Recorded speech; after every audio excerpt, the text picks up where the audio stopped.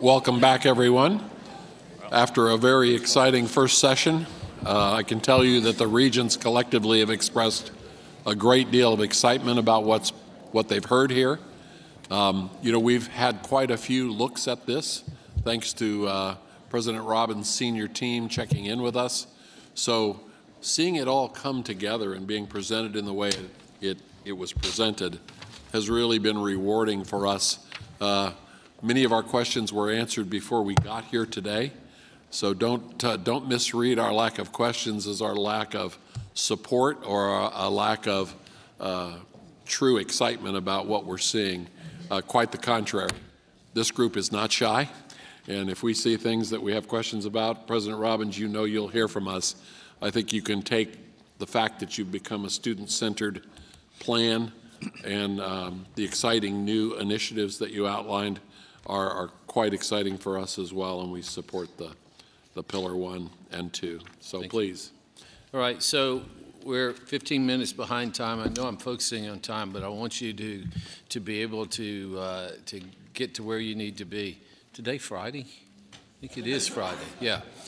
Friday, you know, we need to stop by one on Friday. So this third pillar gets us into um, uh, our people, our place, but it's reimagining uh, the land grant university in the fourth industrial revolution. And, and if, you know, we've talked about uh, President Crow's The New American University and what's our tagline. I, I, I think that it would be uh, the land grant university in the fourth industrial revolution. And, um, you know, to, to be able to do all the things that we talked about in the first two pillars. This one uh, really focuses on our service to the state of Arizona through our land grant mission, to our people, uh, to the place, uh, to the soul that is in southern Arizona, and, and all of the connectivity that we have across all of those assets. So um, here are the goals. Uh, we've talked about uh, uh, earlier on in Pillar 1 the graduation and retention goals. You'll see that we'll focus on, uh, we've called out uh, our uh, Hispanic Serving Institution Initiative, our service to our Native American students, and then um, uh, we'll end on economic development and how we think that uh, we can do even better than we're doing currently, which is actually much better than I thought we were doing. So we'll get there. So what's what's the idea around this um, this uh, new land grant university for uh, the fourth industrial revolution. If you go back, you know, we, we talk about the Morrill Act and, and serving around agriculture and the, the uh, mechanical arts, engineering. But now, uh, as things are changing very rapidly, uh, we need to apply those new principles to what it means to be a new land grant university and, and how we can continue to foster development of the entrepreneurial spirit of this university and the state, uh, increase our innovation and, and uh, uh, uh, economic development resources and investment. And then another point uh, that I was alluding to in the, uh, in the first phase was how can we, as an enterprise, collaborate across our three universities. So this shows one of the great strengths, as I was talking about earlier, uh, is the uh, enormously diverse makeup that, that, that, we have at the university. Students from uh, every state in the union and uh, many countries from around the world. And, and I would say that we, uh, we have dedicated sites for each one of these centers to operate, but they are woefully inadequate. Uh, I would like to see a separate building for each one of these uh, interest groups so that they can have their own living and learning space uh, and, and they can be more successful. And, and I think it makes, it's a competitive advantage for us. It makes us stronger uh, and it will also investment in these uh, different uh, diversity and inclusion centers will, will help us with retention and graduation rate. Uh, the, the fact that this last year we, uh, we, we, received the designation of a Hispanic serving institution. Um, you'll see Marla Franco, who uh, on a video later who's been elevated to a uh, associate vice provost role for uh, Hispanic initiatives. And I think that shows how important this is to the institution. We're only the third AAU university, and remember, there are only 60 AAU universities in the United States, Harvard, Princeton, Yale, Stanford, University of Arizona. And we're the only third, uh, third AAU to achieve this designation. It's a sense of great pride for the university. There was a lot of work putting, put into this over decades, uh, and um, it allows us to recruit better students, better faculty that are focused in the, in the areas of uh, advancing our Latino and Hispanic uh, missions. Uh, and, it, and it also opens us up to new funding uh, at the federal level that we didn't have access to uh, earlier. Additionally, we have uh, uh, uh, Rebecca Tsosie and was at our table this morning with Regent Heiler and, and others and talking about the incredible opportunity for our Native American students. and, and I think that uh, unlike other states where we have the largest concentration of Native American students than any other state, uh, we, we have programs that are already in place. We've got, we've got a long and rich history of, uh, at the University of Arizona of educating uh, our Native students, but we must do better.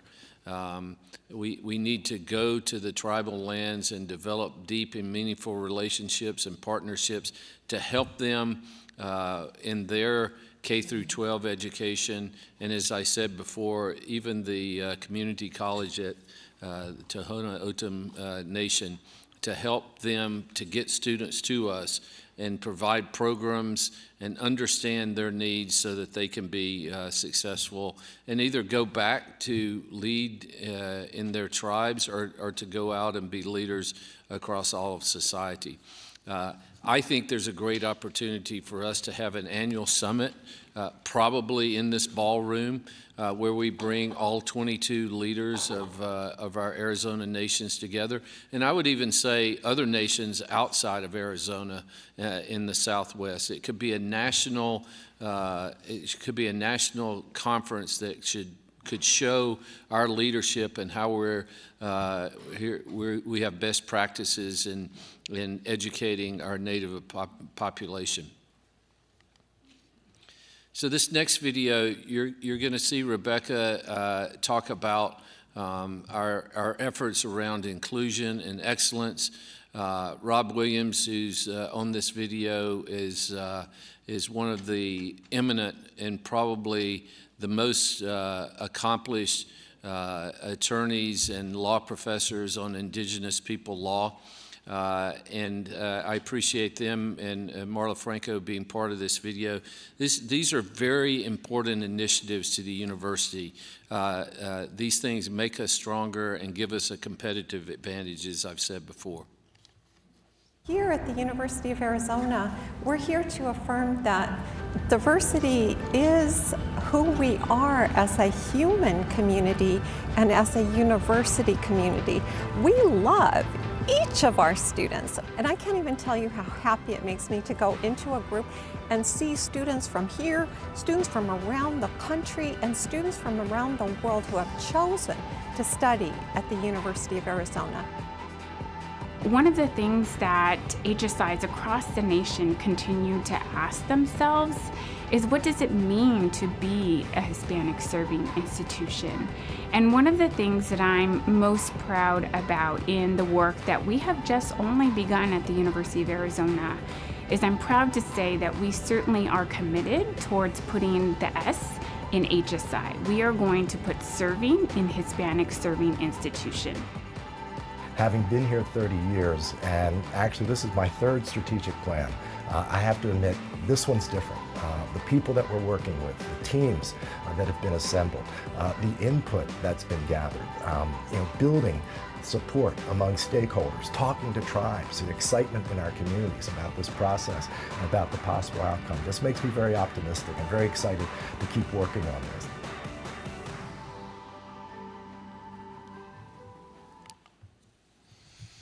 Another uh, thing that it permeates across the entire plan of the arts. Um, we're blessed. Uh, I think President Schaefer had to leave. Uh, he probably didn't want to see what he looked like in a younger age. Oh, you're still there? There you are. Do you recognize that guy? This is, a, this is a young President Schaefer, as I said. He started in his 30s. And I told him that if, if, uh, if he wants to come back, I'll take a sabbatical and he can uh, go back to the job. Uh, but there he is with his friend Ansel Adams, and he, he was key of bringing uh, Ansel Adams' collection here uh, and, and making the Center for Creative Photography one of, uh, one of the worldwide international treasures in the field of photography. Uh, but we, we have a new dean, Andy Schulz. I thought I saw Andy here earlier, and we're incredibly lucky to have him. And, uh, and we're going to uh, uh, have him uh, be more than just the dean of fine arts, but the vice president for uh, fine arts across the university, emphasizing that the arts needs to permeate everything we do across the curriculum, across the culture of the university.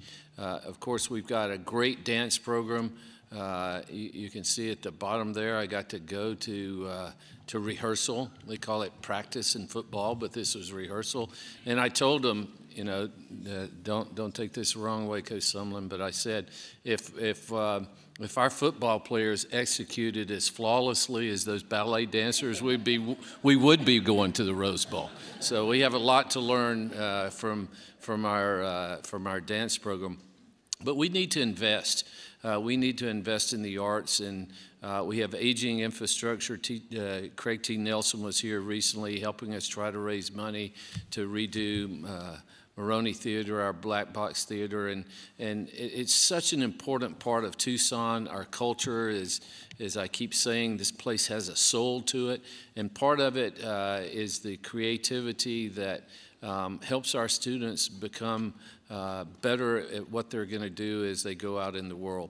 So I've included a picture of, uh, the Mondavi Center at UC Davis and the Bing Center uh, for Performing Arts at uh, Stanford. I mean, these, these uh, centers in this district that we need to invest in with a new Uh, uh, art museum, a new dance, uh, uh, a new music, Fred Fox Music School. these are in facilities that need to be invested in and updated, and certainly as part of this plan, we're going to do that. When you talk about the HSI designation, or you talk about the focus on Native American issues at the university, you clearly are, are, are dealing with leveraging place when it gets to those particular groups of students and faculty. But in the arts, tell me how you're going to leverage place through the arts. Well, I think that um, uh, certainly we've got to have facilities. Uh, uh, I don't I don't know that uh, Jory and his wife could have built the the dance program that they have here uh, without having great facilities. Uh, certainly, you've got to have great programs to go in those facilities. Uh, but I, I, I, believe that these performing arts uh, centers, we we have, in my opinion, two porches, two front porches or front doors to the universities, portals into the university with the community, and that's through athletics and the arts. And I and I think that it's uh, it's a time when uh, other than uh, J.P. Jones has this great uh, seminar series down in the Fox Theater and engages the community, and certainly uh, Joaquin's science lecture series in Centennial Hall packs the place. But they don't, the community doesn't really, except in rare occasions, come in and go to English classes or physics classes or things like that. But they get to come and enjoy uh, performances or games. So I think uh, having uh, facilities that people will come to uh, that will attract students, that will attract faculty to build those programs which do attract students is going to be really important. So I'm not sure if that's answering your question, but uh, it, it, it is one of our portals and front porches to the university.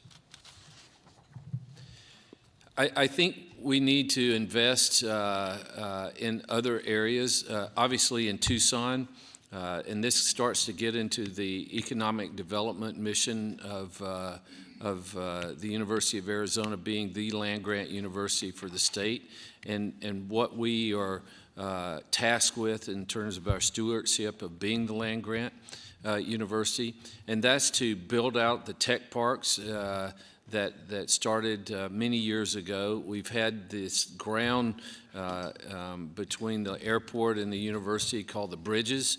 Um, and I'm, i was reminded as I kept driving by there that this was a bridge to nowhere. Uh, but finally, uh, we're going to move forward and, and start breaking ground on the bridges and build out what Bruce Wright and others um, conceived of uh, as a plan that I think will be uh, beneficial in that uh, intersection of fundamental discoveries being translated in co into commercializable products. Uh, we're going to develop a, an incubator uh, at uh, the old Walgreens downtown that the, the county has provided us for a long-term lease, and we're building that out for, and Joaquin and, and Paulo are going to have programs in there, an incubator accelerator. But, but we need to also build out the Phoenix Biomedical Campus. Uh, the, the board has charged the EEC, which are the uh, three presidents in addition to John, to come together and develop a plan for the Health Sciences Center. And I'll say a little more about that later. We also need to build out uh, our presence in Phoenix because the state legislature is there. It's the largest uh, alumni base of any of our alumni uh, worldwide. And, uh, you know, I get up there as much as I can, but I haven't done as good a job of having a presence in Phoenix and, and speak, uh, you know, uh, at, at public gatherings there like President Crow gets to do because he lives close. So we, we need to build out uh, our, our presence in Phoenix more than we're doing. Uh, and just like ASU, I mean, uh, for those of you who've seen their beautiful building in uh, in Washington D.C., right right out the uh, sort of the west side entrance into the into the White House.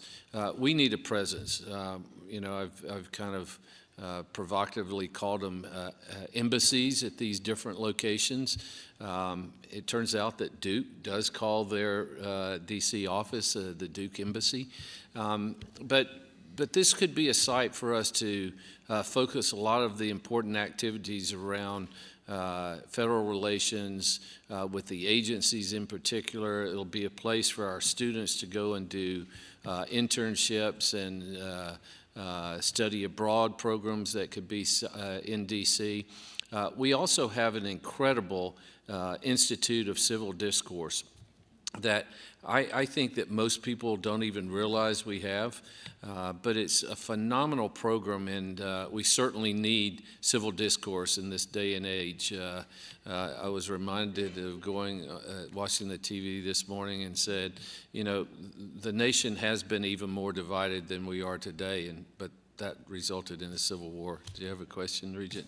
I do. Ravina? Yes, thank you, Dr. Robbins. Oh, oh there we go. Um, I guess with speaking about all this expansion, I was hoping maybe you could also touch on like what does the financing of expansion for the university look like? Like as a part of this discussion, how how do we make this feasible with this going to DC, going to Northern California, which are all important? How do we look at that from a financial perspective?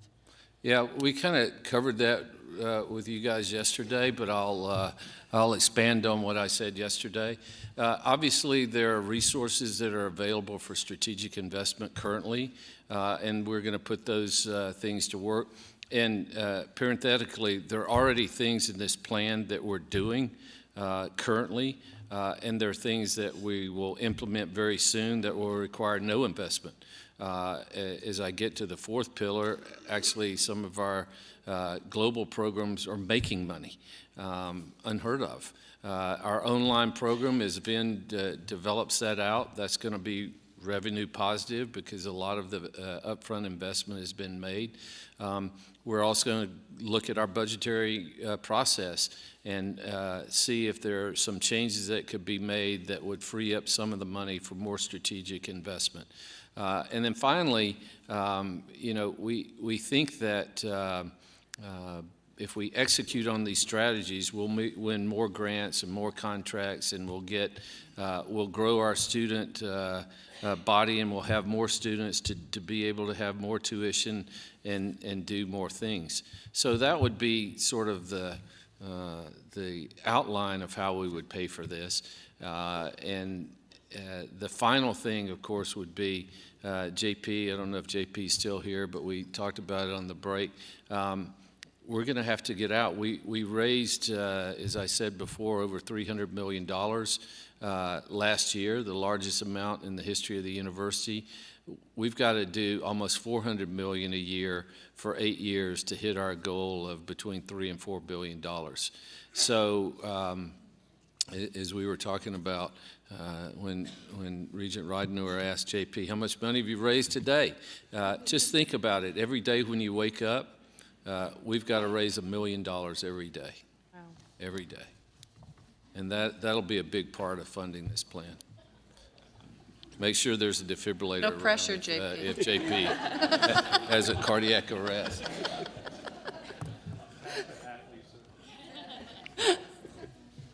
Yeah, we had hoped to avoid that uh, funding question, but it's good to get it out there.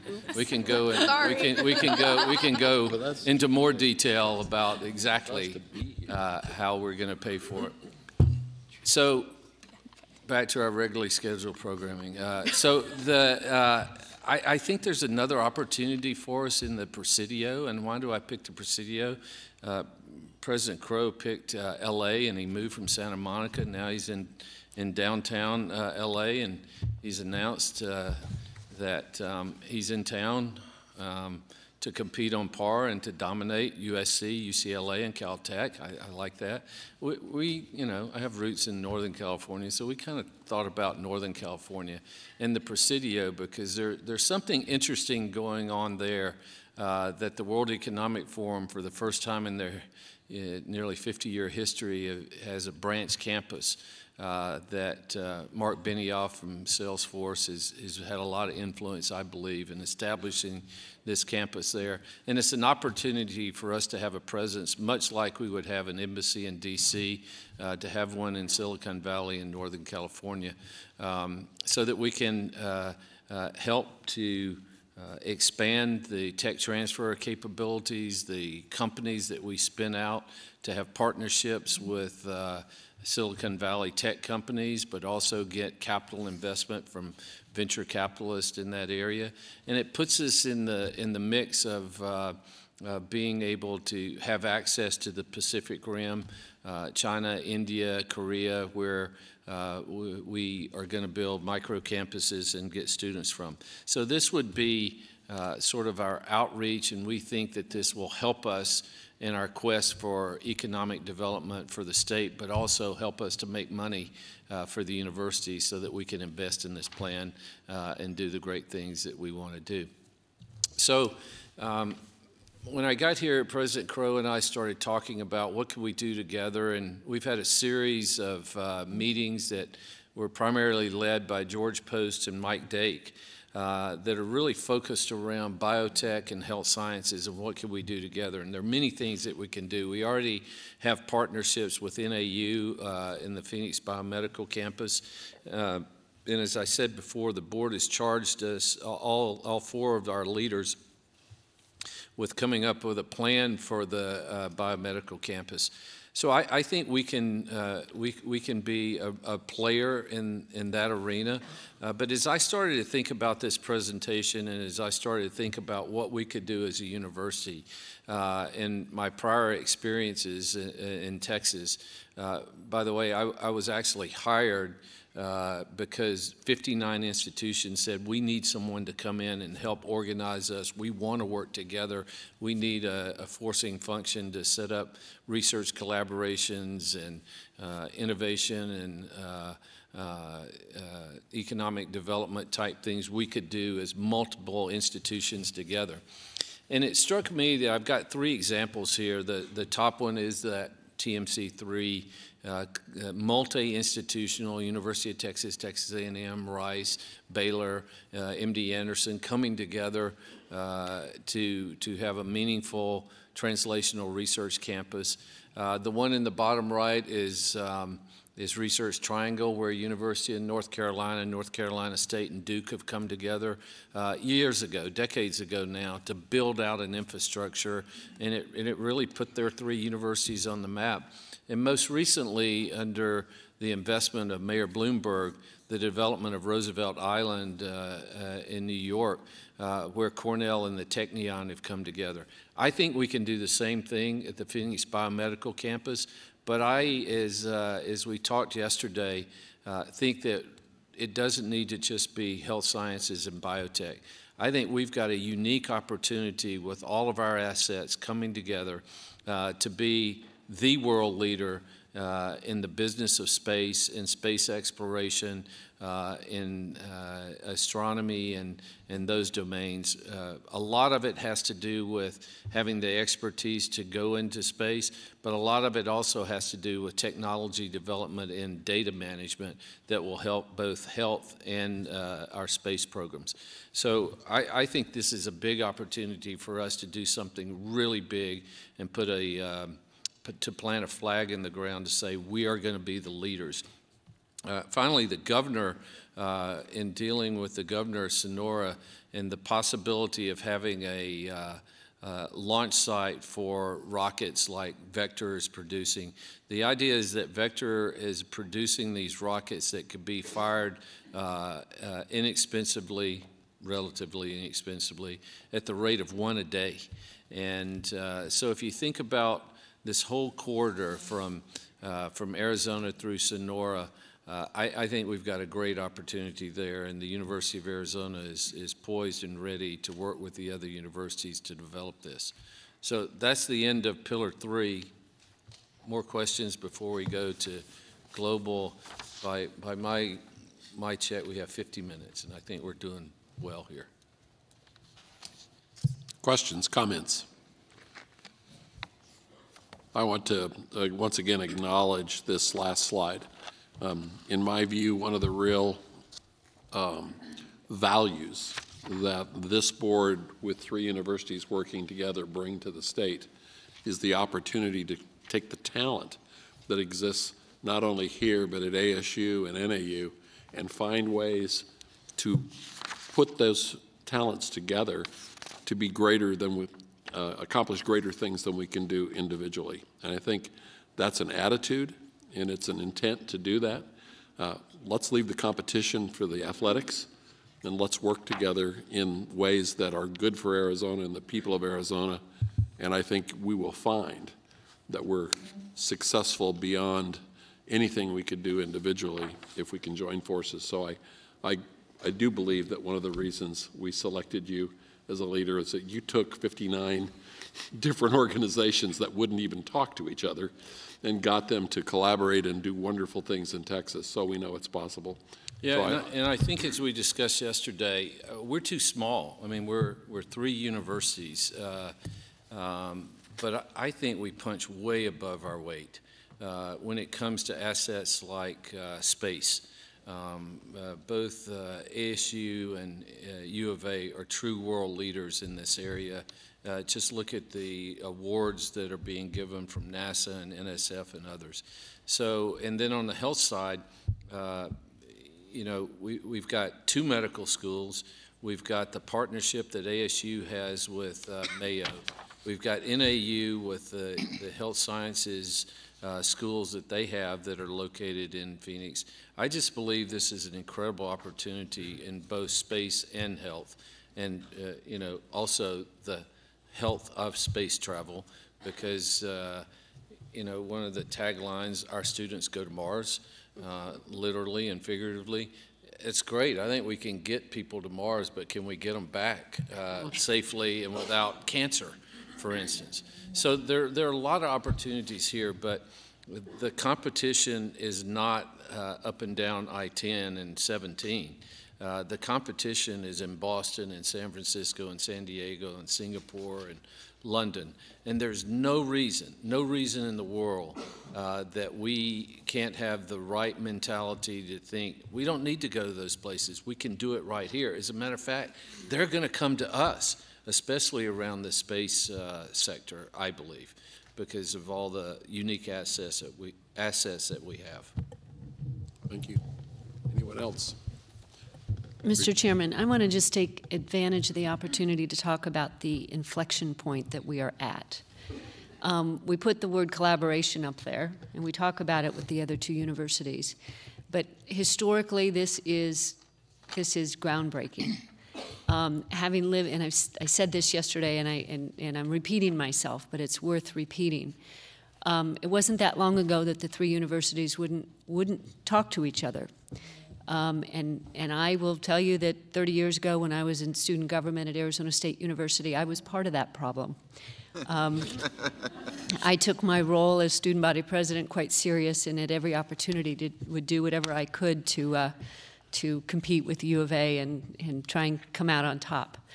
Um, but we have, we have moved far in the last 30 years, and, and I think with, with Dr. Robbins' leadership and his work with Dr. Crow and Dr. Cheng is really historic, and it is, it is an inflection point for our state.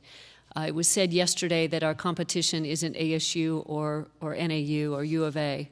It's the research triangle. It's these other states that have learned long ago to work together. That's our competition, and we are stronger together. And so, um, for a lifelong uh, Arizonan, it is very refreshing to see this, and I think it bodes very, very well for our future. So, thank you. Absolutely. Just a quick comment back on, on Regent De Gravina's question about financing. I, I'm just uh, very impressed and appreciative that Dr. Robinson, the University of Arizona, has not made this plan contingent on investment from the state. And in fact, have not really talked about investment from the state. However, I think the, the plan does a great job articulating the fantastic and unbelievable benefits that can come to the state and to the universities if the state was willing to invest in, in this plan. And, and I think gives us a great opportunity to go and articulate with, with the legislature and the governor's office the, the benefits of the 50-50 funding model and, and how we would put those additional resources to work should they become available. Thank you, Director Arnold. President Robbins? Okay, fourth pillar, sorry, global and uh, international activities. And I have to thank uh, Brent White for uh, really uh, converting me. Uh, I'll talk uh, about our micro campuses here in a minute, but these are our goals. You know, currently, um, we, we really haven't focused on trying to procure resources from the World Bank or the Gates Foundation or USAID, uh, uh, some of these uh, funding agencies that fund big international uh, developmental projects. And so we have a goal to, uh, by 2025, and I'm very confident that we could hit this goal, to procure new resources that would help to pay for this plan. Uh, and, and, it's a modest, in my opinion, $10 million. I think we can outperform that. we want to be a top 10 National uh, Research University for students studying abroad. Right now, uh, we have uh, less than 5% of our students. We need to, to double that.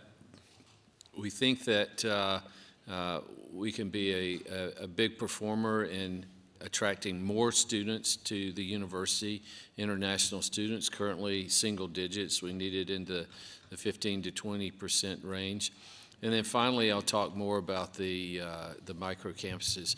The micro campuses, um, uh, I, as, as I said, I was skeptical when I came in, and uh, after sticking with it and uh, uh, investigating and multiple hours of discussions with Brent and Mark Miller and others, uh, a recent trip to one of our newest partner microcampus universities in, in Lima, Peru, uh, people just came back excited about the opportunities there. And then their team came here, and they have a, a young, very uh, aggressive, uh, visionary president. And, and I thought, you know, uh, this, this is starting to make a lot more sense to me. And as we went through and pressure tested it through this rigorous planning process, uh, I, I, think the micro campus uh, differentiates us from any other university in the world. Uh, and the key is that our faculty develop the curriculum, then we train their faculty at our partner institutions uh, to deliver the curriculum, and we give a joint degree. And most importantly, uh, we split the tuition with them 50-50. Uh, and so this is one of the few things in this plan that, that uh, generates resources to pay for itself. And I, I think it's a, um, it's a, a really remarkable differentiating and competitive advantage for us. You can see a picture of one of our buildings there in, uh, in Cambodia, one of our universities. And uh, the, the one that's been around the longest is with Ocean University, which is one of the top universities in China. It, it gives us a ability to deliver our brand out to all these campuses in the world, provides their students with a, a, a U.S. Uh, education and a degree. Uh, it gives us the opportunity to develop research collaborations with these universities and as a launch pad, a natural launch pad for our students as we try to grow our uh, study abroad programs. We already have infrastructure in place there, and they're interesting places and stimulating places that we have partnerships with. Yes, Regent Manson. Thank you, Bobby. So, so this, this generates revenue at this point, so it's a profit center, as it were. What other, outside yes. of generating revenues, what does what do the numbers look like in terms of our students using these facilities currently, and what kind of return, if any, do we have of students coming from the American University of Phnom Penh and studying at U of A for a year? You know, and one of your goals is to increase the international student population at the U of A campus in Tucson. Do those flow together? Right. Well, that's the hope. These are all very nascent programs, and and uh, others could answer those questions more accurately than me. But I do know there's there are a couple of examples of um, uh, law program uh, with the University of Hanoi, which is one of the top law schools in, in the country of Vietnam. Uh, that before we started the the program there, uh, we essentially got no students, and I think over the last few years we've gotten 10 law students that have come from there. The idea is that, that students could complete their undergraduate studies uh, at these micro campuses or even transfer uh, during their time, or they could come here from graduate school. So I, I, don't think the numbers are really high right now, and we only have about 500 students. One of the goals was uh, to be 10,000 students. We only have 500 uh, 26 students today. So it's early on, and there are only four uh, operating campuses, but I know Brent and his team is out uh, and hope to develop 20 of these campuses with, with, uh, with the number of students per campus of, that will get us to 10,000 students. And at that point, uh, it should be um, you know, matured enough that we'll see our students going to these campuses. But I, I think there have been students who've gone to Ocean uh, to, uh, as part of, if not a complete semester of study abroad, but at least go there on a trip and, and understand what the resources are that we could develop a program there eventually. That's the hope. But I don't think we've gone very far with it today. I'm under the impression, maybe mistakenly, that not a lot of universities are focusing on uh, micro campuses or partnerships uh, with other nations. And uh, I know there's a lot going on in China, uh, possibly India, Southeast Asia. Do you plan to be in the forefront uh, of this? And what is the planning? Uh, I mean, what resources are you going to put to this uh, immediately, and where do you expect this to? I, I know you have the statistics, but is it a do we need to make uh, inroads in this quicker than uh, down the road since other universities may well start getting into this type of thing because everyone's out for the international student now? Yeah, I, I, think this is one of the things that we highlighted for you yesterday, and I don't have those numbers with me, but I think we left them with you. It's this uh, uh, initiative uh, calls for about a, a million dollar, million and a half dollar investment in the next year, uh, which we're happy to do. Uh, but Brent is out there. I mean, you know, his uh, if he's not global service on United and whatever it is on American, I would be shocked. Uh, he's probably premier status on multiple airlines because he's constantly out there uh, looking for opportunities. Now, as to as to other institutions, of course, they've been at it for a long time. I mean, NYU does this very well. You know, if you go to NYU, it's marketed very well. There are 14 sites in the world that you can go, and it's a big part of the the experience there. And others have tried it too. They they've, in my opinion, been the most successful. Uh, but most places choose to invest bricks and mortar and programs and their people uh, on the ground. And that just has not been as successful. And you've seen places like Johns Hopkins and Duke and Harvard and Stanford uh, retreat from those models. Stanford still has a program in, in Beijing, but uh, not as big as the, the idea that we had before. And I think Brent is onto something because uh, you can do multiple of these campuses without a big investment and it's about relationship building and uh, and getting uh, the right fit for for their needs with the programs that we have. So we're on this. He's very aggressively going after this. Uh, I think it's going to be minimal investment. But we outlined that this is one of the, as we go through and put, as we talked to you yesterday about the triage and prioritization of projects, this would be one of them. And I think it's about a million and a half, two million dollar investment that we're eagerly putting that money to work because we think the return on investment is going to be good. President Robbins, before you go on to the next section of this one, I apologize, Rick.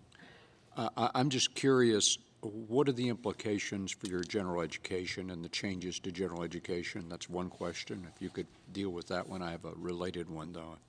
For the, the, the international program? Yeah, you, Yeah. you, you talk about, you know, your, your global goals and what you want out of the students in this section. So how does general education change as a consequence of this? Yeah, so I think it's a great opportunity for our students. We, uh, we talk about uh, wanting, at one point, um, uh, we said we want 100% of our students to have an international experience. I still believe that that's embedded somewhere in this plan, but I got kind of got pushed back on that because, and and the fact is, we could put them in a bus and drive uh, a few hours south, and they could do meaningful work along the border and in Sonora, and that counts. Uh, and and so. I think that that is a great part of the general education uh, process. There is a there is a you know don't have enough time to put it all in here, and some of these things are a little controversial. But there is a pilot project that we continue to talk about uh, with Minerva uh, to introduce their curriculum uh, into our general education uh, projects, pilot projects for next fall. Brent has looked at Minerva's platform and said, this is going to be a great way for us to deliver general education across all of our micro campuses. Um, so I, I, think that they fit together. Obviously, Bobby, would you explain Minerva for everyone's benefit? Ooh, it's going to be a long. The most successful university in the world, Minerva. You want a tagline? It's a tagline. And so uh, they've only been around about four years, and they have a, uh, a very uh, uh aspirational goal to um, uh, to change the way that education is delivered. Uh, they have, uh, uh, we've been talking to them now for about a year about their offerings, uh, particularly around the software and platform that they use to deliver uh, their offering. They only take 100 students a year, and they have multiple thousands of students applying. And it, it's really an online educational platform but the students start, uh, there are eight different locations, I think, and I'm not an expert on giving the Minerva pitch here, but I'm going to do the best I can. And I'll say you, you can find them at www. dot whatever it is, Minerva. Just Google them. But, but the idea is they've got an incredible uh, software platform and uh, uh, data analytics that they film every class and they, they um, use, uh, they're the ultimate in collaborative and active learning in the classroom. Uh, and we just think that that's, that's going to be uh, a potentially interesting pilot for us to pilot uh, in our general education curriculum. Above and beyond that, Brent thinks this is a great way for us to, to disseminate our curriculum around to our micro campuses. A, a related question, though, President Robbins, before you go on, and by the way, it's minerva.kgi.edu. There you go. Just if you want the, uh, uh, the address.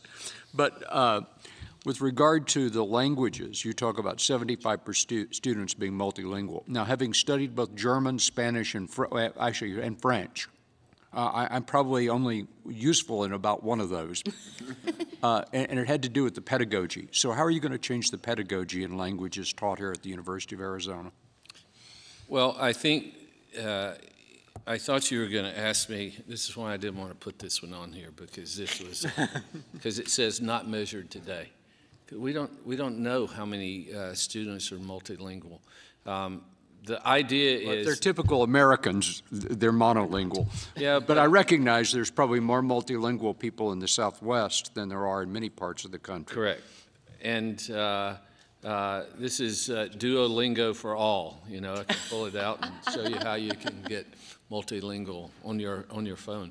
But, um, i- you know, the idea would be that you would have a proficiency test that you could uh, give people. The, the fact is that, um, I'm forgetting now which university, it's a requirement that in order to finish, you, you, you have to be proficient in, a, in two languages. Um, so the, the idea is that um, because of our uh, HSI status, because of our, our desire to grow and be, be an internationally uh, in, international leader in uh, uh, students from outside the U.S., we think that this is uh, something that we can achieve. Uh, the question is, how do we measure it? And that's always problematic. I, I guess this one is uh, maybe not as metrically best, uh, based as it is uh, uh, spiritually and aspirationally be, uh, based. Regent Myers. Yeah, just a, stepping aside just one second, I, I just wanted to suggest, Mr. Chair, you know, we, we had some discussion on these micro campuses. We talk about online education opportunities, um, the whole branding outside of the United States. And we know how important out-of-country students are to the learning experience for our students, the opportunity for resident students in Arizona to go to other countries, and the money that comes here from other countries to help support education. I was going to suggest at some point this board should maybe look at this a little bit more. Because I, I don't know in, in my history on the board that we've really had a, a discussion about what out-of-country education means to Arizona. And, you know, I don't know that ABOR should be doing more advertising for Arizona schools or, you know, I, there are just so many open questions here, but it, I think we all recognize it's becoming and it's going to continue to be a more and more important, important part of our overall student body and our student experience. So separate from this U of A presentation, I was going to suggest that this board, maybe in academic affairs, should take this subject on at some point and, and have more of an intellectual discussion about what are all these platforms and how do they fit together and what is the opportunity. Thank you, Regent Myers. Thank you. This, uh, this just is a slide to remind me to come back to, we've just not done a lot of uh, work in developing the procurement of resources that help us to go out and marshal our resources around uh, hydrology, uh, water expertise for arid environments, engineering prowess, uh, public health and, and natural resources uh, assets that we have at the university to go out and partner and help solve uh, some of the world's uh, global challenges. I think we do a really good job, especially uh, with water, uh, in, in terms of uh, going across the state, partnering with, with the native communities, but also with the Middle East. There are a lot of um, uh, partnerships. Ben Gurion uh, University was here recently signing a, a research agreement because they live in a similar type uh, uh, environment as we do.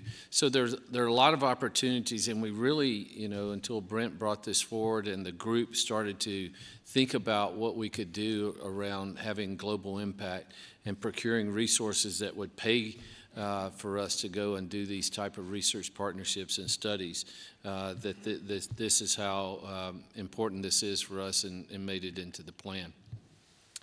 Uh, as we get these students on campus, right now, uh, we don't do as good a job as, uh, as we could in terms of making them feel welcome, providing them with the uh, necessary resources uh, to retain them. It turns out that our international students are retained at a, at a fairly, fairly high level, but we'll have to increase that if we're going to hit our 91% uh, retention goal. And we make it difficult. We make it difficult for all of our students to uh, uh, to have a joyful existence as they navigate through the university. So the idea would be to take the Park uh, Student Union and repurpose it and renovate it into an international uh, uh, center for students so that they don't have to run uh, all over campus and many times uh, out uh, into the city miles away from campus when uh, they may not have a car. Most of them don't have a car when they come here. So the idea that we would have different services for passports, uh, I really like the idea that every one of our students needs to have a passport. And if we had an office there that made it easy uh, to go to get that passport, then I think more of our students would have them. It'll, it, you know, when our uh, basketball team went to Barcelona last year, I think probably nine out of the 12 didn't have a passport. So um, uh, to, to process visas, uh, to, to be able to get their financial aid and support from their country, country of origin, um, and to provide a, a, cultural center for events, um, watching World Cup soccer games, for instance, or uh, having food services that could be, um, you know, the best in the region could be right here in the center. So we're pretty excited about uh, repurposing this and the, the um, modest amount of uh, resources that were required to do that. So that's the end of our international story. Thank you. Okay, we're coming down the home stretch here.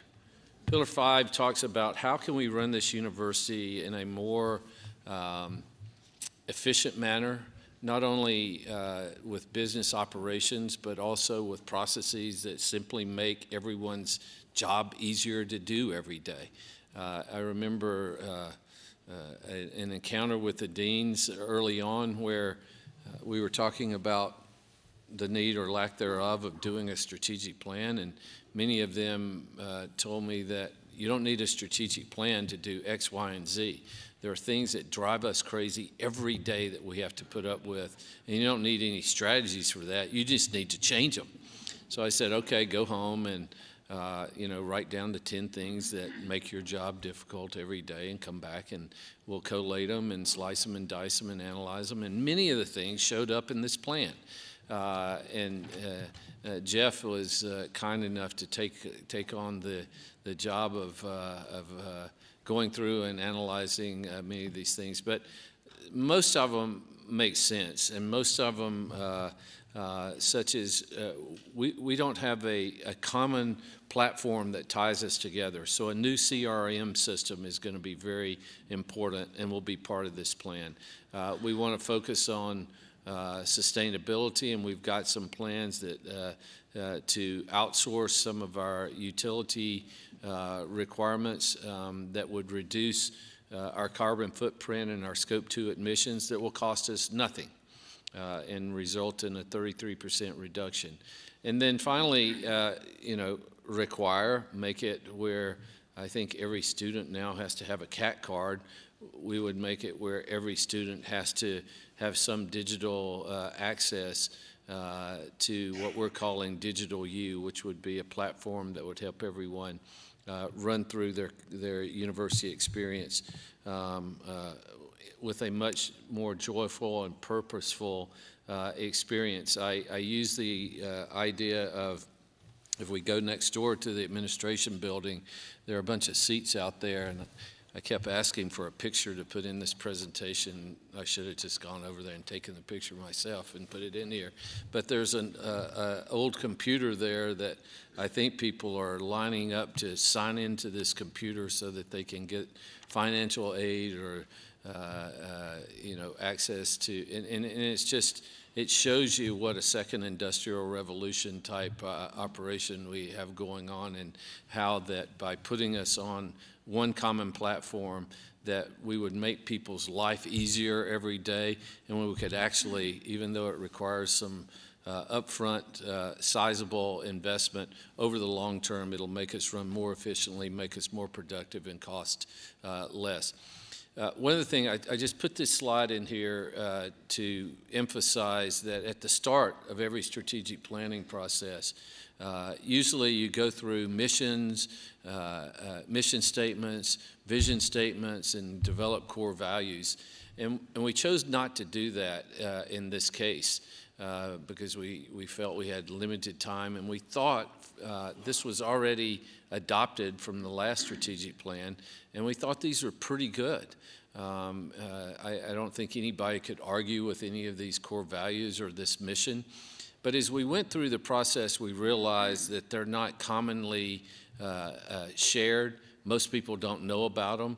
Uh, you know, if you if you're from ASU, you can give the guiding principles of the New American University, and I'm not sure that uh, uh, you know, anybody can really recite for you what our, our core values and purpose are here. So as a, uh, as a postlude to this process, we're going to engage uh, in a, uh, a process with the Purpose Institute out of Austin, Texas, and go from a uh, grassroots level, all stakeholder alumni from around the world, all students, staff, faculty, and go through this process of developing a shared set of um, uh, uh, goals, uh, purposes, and values that, that everybody would buy into and would know and would be part of, of uh, who we are and our true North Star as a university. So we're looking forward to that. Uh, as part of analyzing our current culture, I alluded to earlier an organizational health uh, initiative and survey that we did, uh, sent it out to 15,000 uh, students, employees, and uh, faculty member, and got, you know, about a 33% response rate. And I talked about things uh, that we have strengths in in terms of talent and passion and uh, uh, but that things that we lack were role clarity, a strategic uh, vision for the future, holding people accountable, uh, defining what their jobs are, giving them performance reviews uh, to either help them improve or to reward them.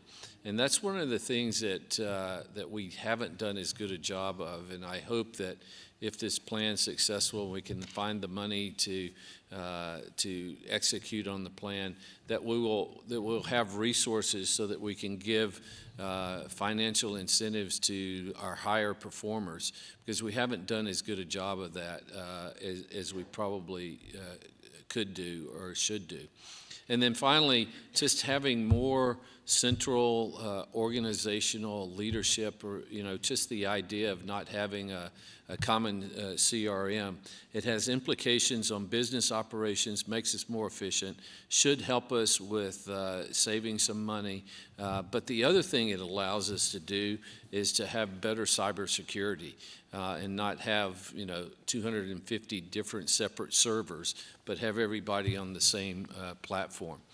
Uh, so those are some of the things that I, I think will, uh, will be very, not as glamorous as some of the other parts of the plan, but certainly practical, helps people live their daily lives and uh, helps them uh, be more excited about coming to work because they don't have to fight all the red tape and bureaucracy. Of course, there's always going to be some of that.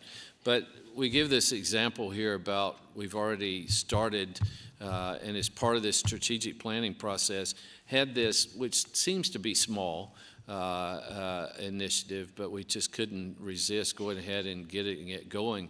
Uh, it used to take for travel authorization, if I said, I want to go, I have a meeting at the NIH next, uh, tomorrow, and I need to leave tomorrow. Well, I needed to start planning that about a week in advance. You're obviously going to plan it, but getting authorization to even go um, in the in the second industrial revolution that we were operating in a year ago, uh, it would require about a week of signing five or six different uh, getting five or six different signatures on paper that made its way around the university, uh, and then you would get your approval. Now, today, I'm told, uh, that we can just hit a button and uh, do it electronically. Small, small example, but you start to get the picture. When we have these, uh, these, this infrastructure, it can make us work more uh, successfully. And then uh, this is the digital U. Think of this as the Amazon uh, offering for students where they can get access to uh, their course selection, manage their financial aid, uh, and other uh, things that um, uh, will make their life easier so that they can spend more time studying and improving uh, their performance. We think it'll help with retention. We uh, certainly on financial aid, if we could get it to them sooner, many people, the two main regions, reasons that we don't retain students are mental health issues and financial issues. So if I have to wait three months to get my financial aid, um, then I'm at a high risk of, uh, of dropping out because I have to go get a job and, uh, you know, and it delays me from graduation. So we think that some of these technological challenges, if we're going to be the, uh, the land grant university in the fourth industrial revolution, we've got to be able to practice what we're espousing we're going to uh, give to our students and, and to the outside world. So we're almost at the end here. Uh, one of the things to get back to, you know, what, what are we going to do? Is this the, is this the end of the process? Uh, it, and, and, I've said this now, I think three or four times. It's the, uh, it's the end of the beginning. This is the structure that we'll have. We'll have a strategic implementation group. We uh, have sent out uh, a, a, an advertisement to hire someone to run this uh, plan, to oversee the whole thing. We'll have um, accountable pillar owners for all five of the pillars, and then initiative owners.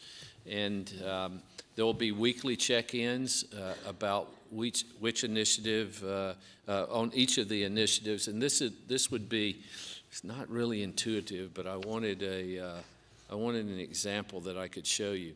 So these are the five pillars, and each one of these blocks represents uh, uh, an initiative. And, and so we'll come back to you and show you, uh, if we show you that there, and we'll do this on a quarterly basis, not only to report to the regions, but we'll have it on a website and we'll be very transparent about which initiative we're, we're actually executing on and what the results are. So you probably won't hear a lot about the ones that are in green, but if there's some issue and they're in the cautionary yellow part, or if we need uh, to have a, uh, a SWAT team go in and, and help on an initiative because it's just not going, um, then this kind of tracking system and reporting system and metric system will help us as we go out and execute. Uh, we've got to get the resources. We've got A, B, and C tranches. A is the one that uh, we're already doing, we're already investing in. B is the one that we've committed to invest in. C would be uh, the ones that we'll go and raise money for uh, and invest in as we go out and inspire people uh, to invest in these uh, programs that'll help us to uh, uh, be a better university and in many ways improve the world. So we, we will report back to you on uh, several things. One, the, the values and purpose work that we're going to do over the next two or three months um, the update on where the Banner Health Sciences strategic plan as it starts to roll out. And I've, I've uh, mentioned RCM. Uh, we'll, we'll come back and talk to you about what our ideas are about uh, our budgetary process and uh, what, what uh, changes we need to make to, to RCM. Uh, I think there's, there are going to be some changes that are being discussed by the task force, and as I've said, I, I look forward to, to hearing those. Um, the final thing on this slide is we, we obviously um, have three important hires that we're searching for right now. All of these searches are, are underway. Uh, the provost, the CFO and chief business officer, and the senior vice president for research and innovation.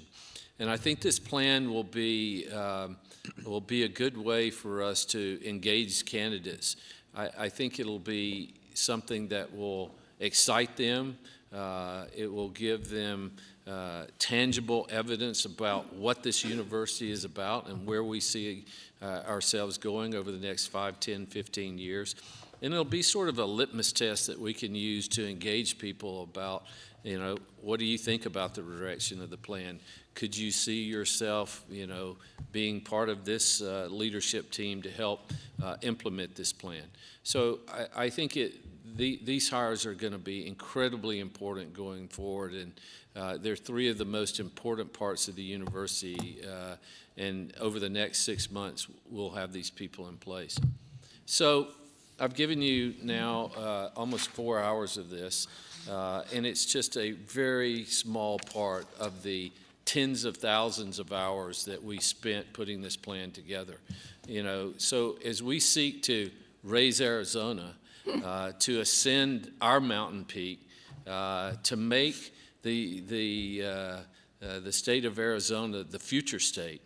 I'm, I'm drawn to these words by our alum, Alison Levine, who uh, I think is uh, one of the first and maybe only women to summit all of the world's tallest peaks and ski to uh, the North Pole and the South Pole uh, while working at Goldman Sachs. I don't know how she did all that. Um, but I, I, love this, and we wanted to have her here, but she's, uh, she's off climbing some mountain.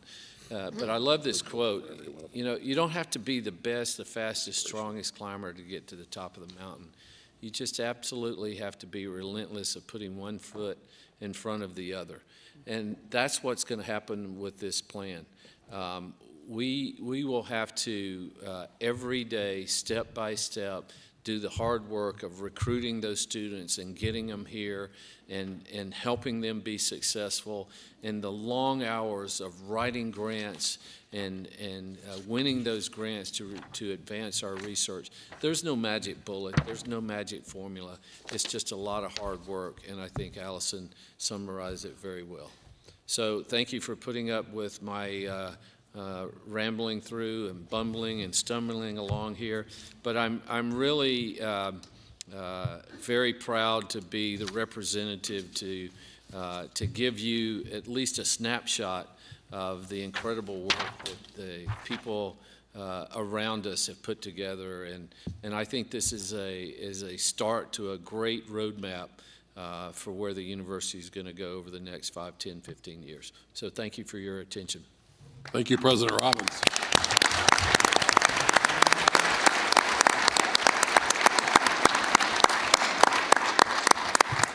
I'd like to uh, offer the opportunity to the regents to uh, make any comments or ask any questions at the end of the uh, presentation.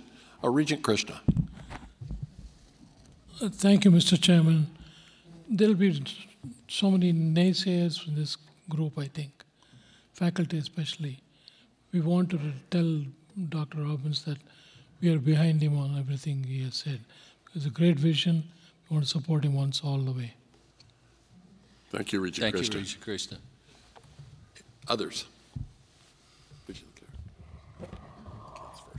So thank you, Dr. Robbins, for that presentation. Um, so I think personally, being uh, one of your students now here at the U of A. I'm proud to know that this is the direction that the university is headed. I'm excited and inspired by um, what you've presented here. And I think the most exciting part for me and maybe for Regent DeGravina too, is that student success is such a clear thread between all of the pillars. And it's something that you drew attention to and something that um, is really important to us and, and to your student body and your, and your student population. Um, and so I hope that you'll continue that as you go forward and implement each of these things, um, which I'm sure you will. And specifically with the general education conversation, um, it's something that we've talked a lot with uh, the students about, and they're super interested um, in where general education is going and how they can participate in that formation. And so I hope that um, you'll call on them as the real grassroots kind of people to tell you what um, general education means to us as students and how it can be best utilized um, in our education. But overall, I'm, I'm really excited, and I, and I think the student success part is vital and very clear, um, and I think people will be excited to see that this is where the university is headed. Thank you for those comments. And, you know, as I keep saying, the, the medical system wasn't necessarily designed for patients, but the leading institutions are now uh, uh, formulating patient-centric uh, delivery of care. And I think the same thing about higher education. We, we don't necessarily uh, have set this up to be the most student-friendly or the most student-centric. And it's an opportunity in this point in time for, for the University of Arizona to be a leader in this area. So I, I appreciate both of your inputs in this uh, planning process and all of our students, particularly uh, and uh, our student body president, and Marie, our graduate and uh, professional student body president, and others like Anthony and uh, people who've helped us and set in, particularly on these general education uh, discussions. Um, it, has been enlightening to me. It's been invigorating. Uh, and I think we're to a place now uh, where we've got a, a, a, common set of shared values around learning outcomes and skills and things that uh, we, we need our students to achieve. And I think it's going to be exciting for them instead of just picking from 400 different courses and trying to find the easiest A they can get and uh, not having any themes or any structure uh, to go through. Um, this will, I think this is going to be a much better way to uh, impart general education. Uh, and it, it's going to help them, as I said before, in any discipline they choose to go into. Other regents, Regent Penley.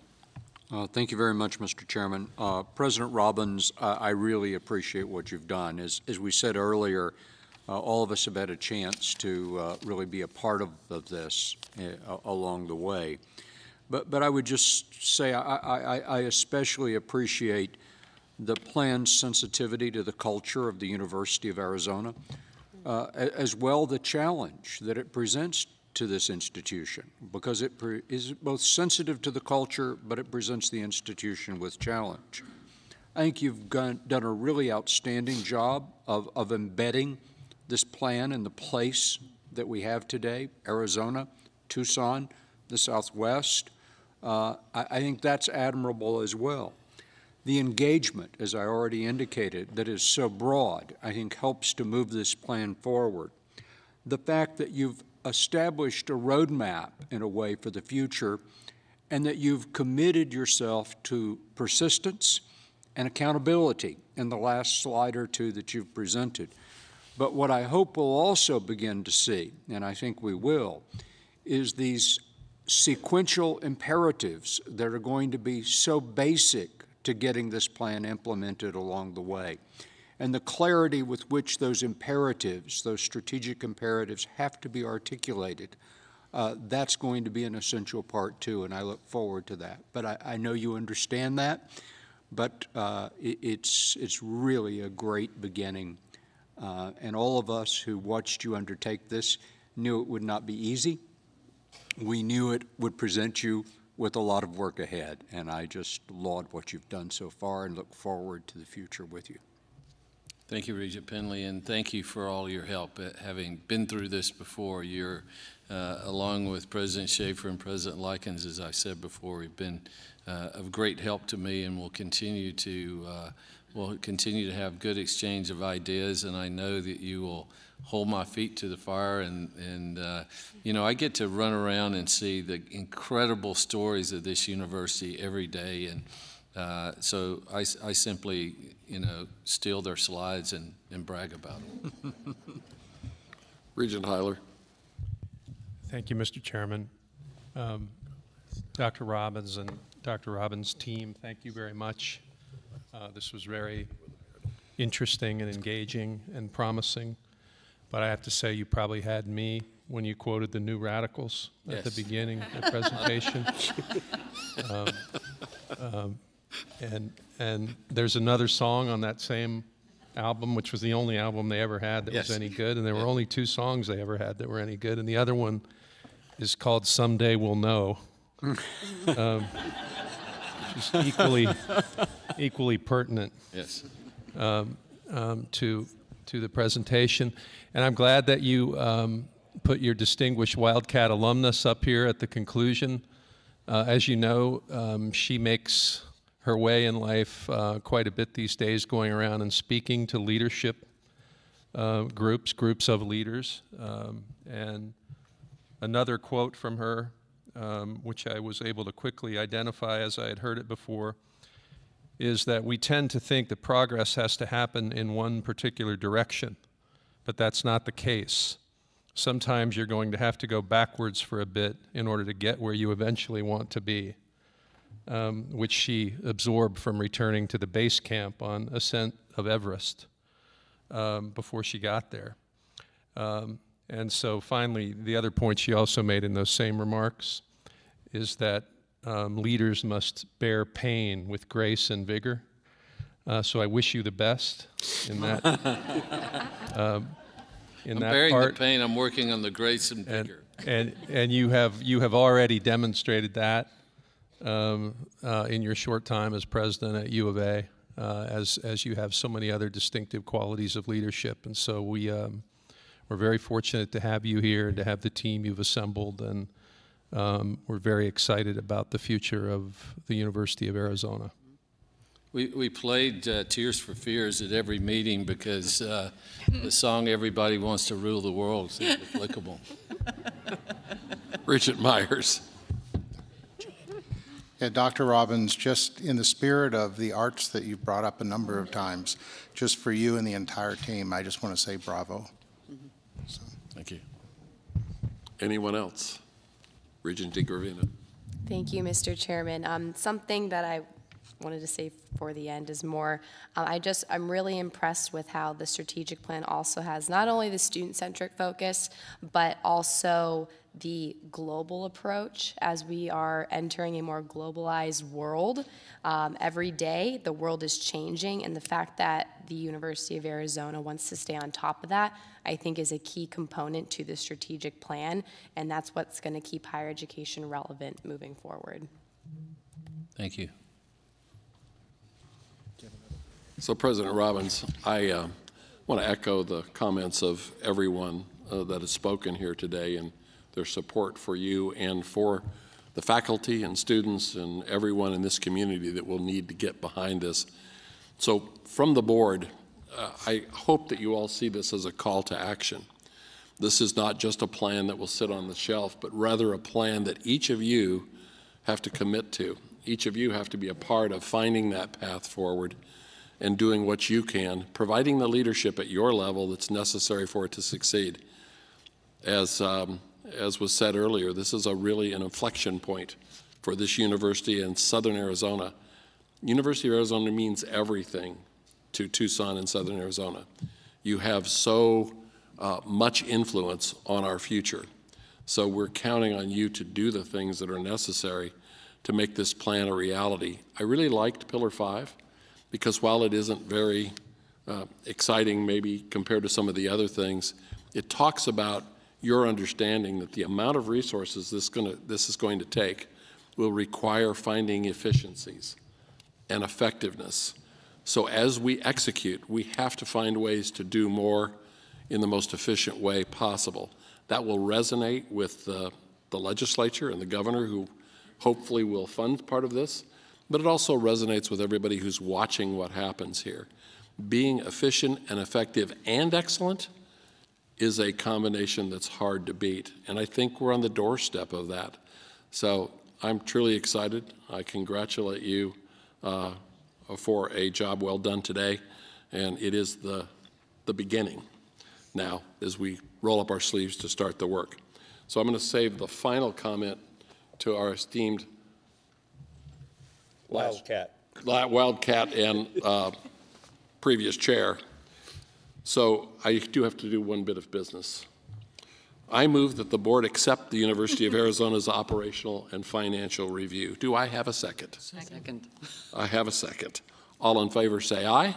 Aye. Any opposed? Any abstentions? Motion carries.